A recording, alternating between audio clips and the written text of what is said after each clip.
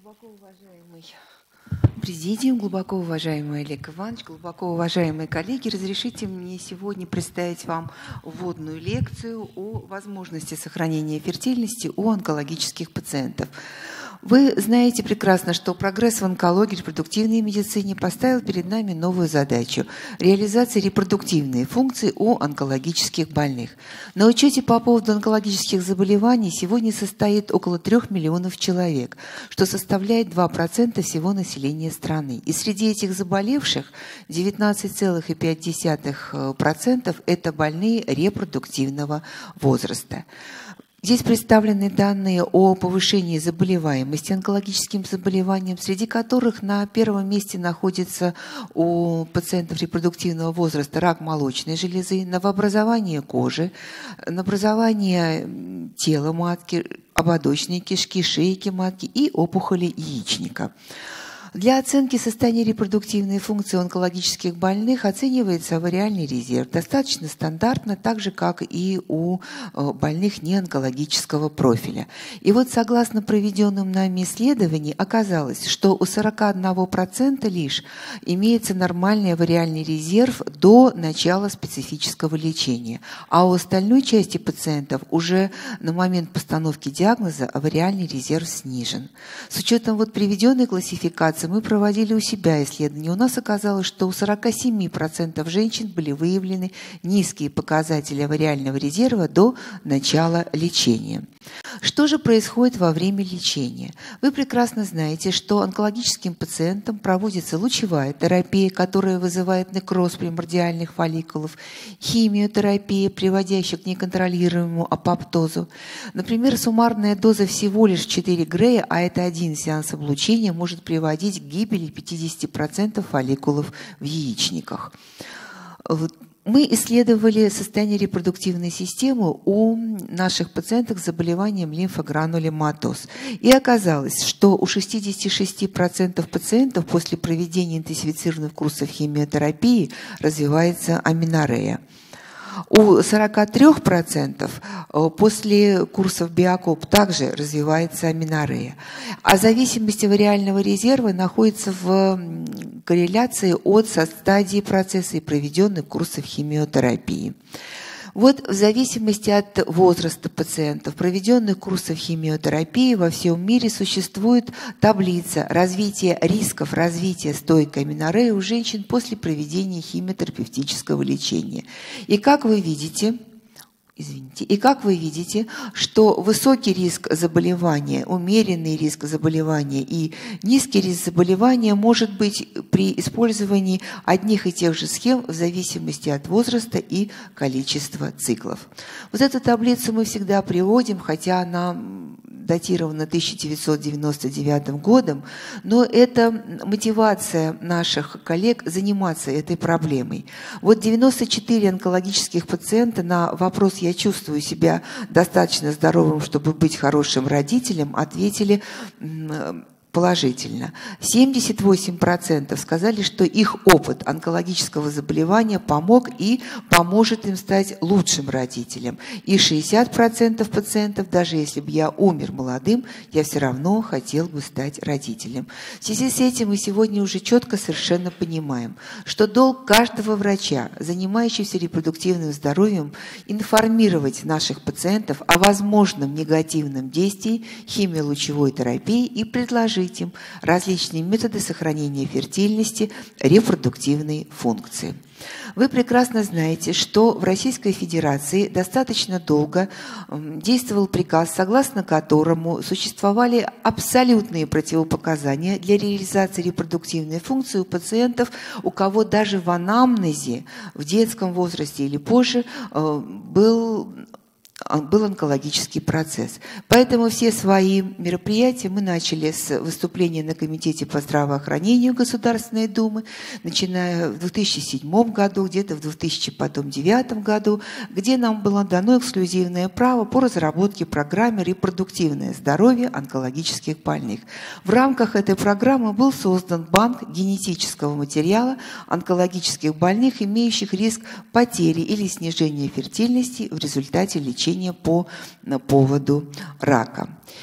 Теперь вот в, новом, в новой редакции приказа о ВРТ четко было написано, что при наличии в анамнезе злокачественных новообразований любой локализации вопрос о возможности использования ВРТ решается на основании заключения врача-онколога.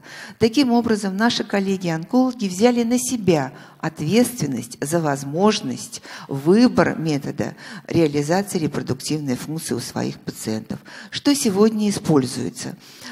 Это, безусловно, э, криоконсервация эмбрионов, криоконсервация уазитов, э, криоконсервация авариальной ткани. Наш центр в свое время специализировался на криоконсервации ткани яичника. Ткань яичника можно было получить ляпароскопически, симультанно с хирургическим вмешательством по поводу основного заболевания или использовалась независимо. И тогда же в шестом году был создан первый криобанк онкологических пациентов. Мне хотелось бы сказать, что рост числа биобанков – это тенденция во всем мире. Так, в Соединенных Штатах Америки, как видно из представленных данных, есть эм, банки биологического материала больных не только с онкологическими заболеваниями, но сердечно-сосудистыми заболеваниями, заболеваниями центральной нервной системы, дыхательной системы и других заболеваний. С 2013 года сеть государственных биобанков активно развивает Финляндия. Планируется открыть хранилища в других крупных университетах э, Европы. Хранилища индивидуальной генетической информации Финляндии объединены в национальную сеть биобанков, которая в свою очередь является подразделением паневропейской сети. Кто же к нам обращается в наш криобанк? Это мужчины и женщины. Как видите, с 2006 года по 2015 год рост э, числа пациентов растет. Наибольшее количество биообразцов представлены ткани яичника, но кроме того есть и сперма, эмбрионы и oocyты. Возраст пациенток в основном 21-25 лет, а заболевания, в связи с которым они обращаются с сохранением генетического материала, это лимфогранулематоз, рак молочной железы и рак шейки матки. Для сохранения фертильности онкологических пациентов в нашем центре выполняется пункция фолликулов в натуральном цикле, получение уоцитов из авариальной ткани перед ее криоконсервацией, проводится IVM-культивирование, витрификация авариальной ткани, ретрансплантация авариальной ткани, аспирация уоцитов после ретрансплантации, ретрансплантации авариальной ткани, криоконсервация эмбрионов и зрелых яйцеклеток. Как происходит криоконсервация авариальной ткани, вы прекрасно знаете. Хотелось бы сказать, что в нашем криобанке это в основном использование метода быстрой заморозки, хотя во всем мире еще используется и помимо витрификации и медленное замораживание биологического материала. Аутотрансплантация в реальной ткани здесь представлена. Технически это процесс очень несложен и выполним каждым врачом-гинекологом, владеющим ляпароскопией. Результаты трансплантации авариальной ткани после проведения цитостатического лечения достаточно противоречивы. По одним данным описаны случаи рождения более 40 детей и несколько начавшихся беременностей, по другим более 60. Но мне хотелось бы сказать, это достаточно большая таблица, но все же первенство в этом направлении принадлежит профессору Дане из брюссельской клиники э, при университете города Брюсселя, который в 2004 году получил первую беременность после ортотопической трансплантации в реальной ткани. Э, затем в 2005 году таких же успехов достиглись наши коллеги из Шеба-центра из Израиля. И вот вы видите, в 2015 году ребенок родился и в нашем центре. Существуют американские рекомендации клинические по сохранению фертильности у онкологических пациентов, они уже дважды пересдавались. Но в этих рекомендациях последнего издания написано, что криоконсервация ткани не может предлагаться пациентам с доброкачественными заболеваниями, поэтому, потому что на сегодняшний день пока эта процедура является экспериментальной и может предлагаться нашим пациентам лишь как экспериментальный протокол. Мы вот этим и занимались. У нас было несколько грантов Министерства здравоохранения Российской Федерации, Министерства образования И мы проводили гистологические, иммуногистохимические, проточно-цитометрические, кам-культивирование, очень много различных методов исследования, согласно которым мы доказали, что этот метод имеет право жить и может быть использован сегодня у онкологических пациентов. После аутотрансплантации витрифицированной в реальной ткани восстановился менструальный цикл у 85 пациентов в нашем центре, у 43 была проведена пункция фолликулов. Вот здесь несколько клинических случаев. Первый из них – это больная с диагнозом папиллярный рак щитовидной железы четвертой стадии, который одновременно с оперативным вмешательством по поводу онкологического заболевания был произведен забор ткани и ее криоконсервация методом витрификации. Как видите, что до криоконсервации мы видим ТК-ткань с наличием примордиальных фолликулов.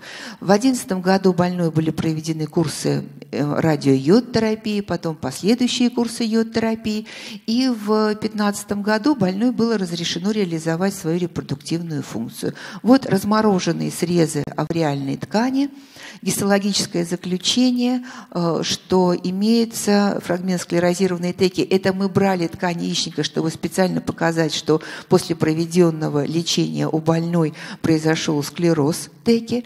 И затем вот после криоконсервации динамика уровня гормонов. И как вы видите, после трансплантации через 6 месяцев у больной восстановились показатели гормонов, и АМГ стал равен 2000 2,67%. И вот в 2012 году была выполнена ортотопическая трансплантация, и затем произошло рождение ребенка. Метод запатентован нами, и с наличием этого патента открывается широкая возможность использования его и в других клиниках Российской Федерации – что же еще мы можем сегодня предложить в мире по поводу сохранения фертильности онкологических больных? Это трансплантация матки. Это совершенно новый шаг в медицине, который объединяет две инновационные области медицины – репродуктологию и трансплантологию. Приблизительно одна из 500 женщин страдает бесплодием из-за отсутствия матки. Но для наших больных это особенно актуально. Вы знаете, что первая пересадка была выполнена в 1931 году, но она была выполнена не успешно. Затем в 2000 году была попытка, в 2011 году была попытка предпринята. Но первая успешная беременность после трансплантации матки была на, получена нашим коллегам Мэтсом Брёнстом в Гетеборге где было проведено потом 9 успешных операций по пересадке матки от близких родственниц. И в 2014 году на свет появился первый в мире ребенок, рожденный женщиной после трансплантации донорской матки и использования вспомогательных репродуктивных технологий. Другая группа ученых под руководством Самуила Кима, это Соединенные Штаты Америки, выполняли пять гетеротопических трансплантаций тканей яичника. Яичники начинали вырабатывать гормоны через 20 недель после трансплантации. Гормональная функция у них сохранялась до двух лет – у одной э, пациентки более 7 лет. И вот э, это позволило Самуилу Киму сделать э, такой вывод, что долгосрочное восстановление эндокринной функции значительно облегчает жизнь молодым пациентам, пережившим рак. Но здесь есть одно «но», о котором сегодня говорят все ученые мира, занимающиеся этой проблемой. Мы уговорили наших пациентов, мы их убедили в том, что они должны сохранять свой биологический материал. Но лишь 5% пациентов возвращаются за реализацией репродуктивной функции. Вот это пока еще совершенно непреодолимая задача. Другая группа ученых под руководством Кавамура тоже витрифицировали ткань яичника, затем активировали ее и проводили так называемую процедуру in-vitro activation. Активировали фолликулы в лаборатории и затем получали эмбрионы, которые трансплантировали в полость матки, и сегодня уже получили три таких ребенка.